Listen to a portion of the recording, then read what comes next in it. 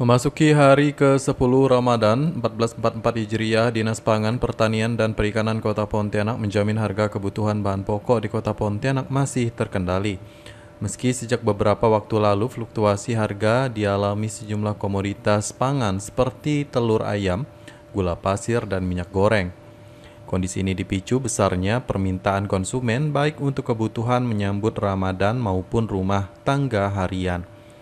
Namun berdasarkan pantauan langsung ke pasar-pasar tradisional di kota Pontianak, dipastikan belum adanya pergerakan yang signifikan.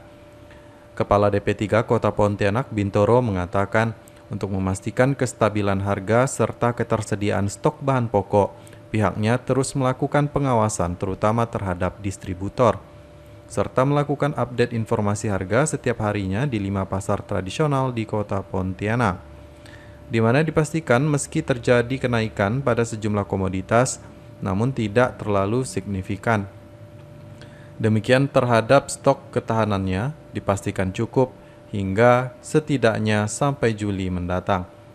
Persiapan menjelang Ramadan dan bulan Ramadan sampai nanti menjelang Hari Idul Fitri bahwa stok eh, pangan yang 12 eh, komoditi yaitu yang ada di Kota Pontianak bahkan secara nasional Kota Pontianak saat, saat sampai saat ini masih dari bulan puasa minggu pertama yaitu atau bulan Maret minggu terakhir kita dalam keadaan masih surplus ya, surplus. Sebagaimana Permendagri nomor 64 tahun 2020, satuan harga komoditi yang diatur di dalamnya antara lain beras, daging sapi, daging ayam, gula pasir, minyak, bawang, kedelai, telur, dan lain-lain. Di mana berdasarkan hasil survei harga beras hingga kini masih stabil dengan stok cukup melimpah.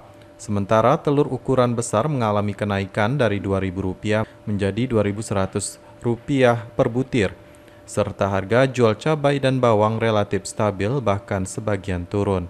Endra Pontipi memberitakan.